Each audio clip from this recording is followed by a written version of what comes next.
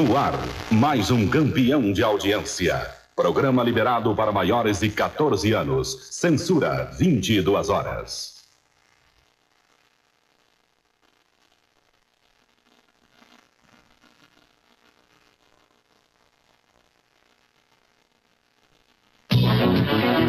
E eu também. Como aconteceu? Ela tentou levantar do barco. E o que aconteceu? Eu não estava enxergando muito bem. Ouvi uma pancada como se o barco tivesse virado e a borda atingido a cabeça dela. Provavelmente. Depois dessa pancada acidental, quando estavam dentro d'água, que distância estavam quando subiu?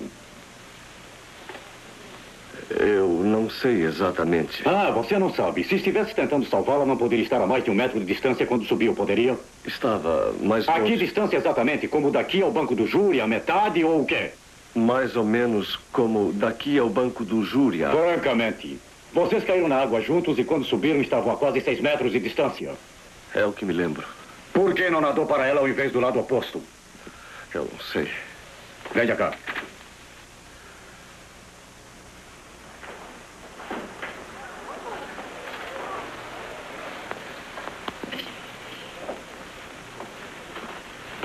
O barco estava nessa distância como daqui ao escrivão? Acho que sim, eu não sei. Vai querer que eu creia que não podia nadar essa pequena distância até a pobre moça?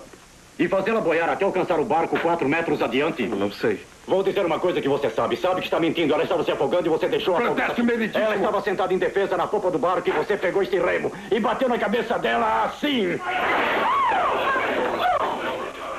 Você empurrou aquela infeliz para dentro do lago. Observava ela se afogar. Não é verdade? Não.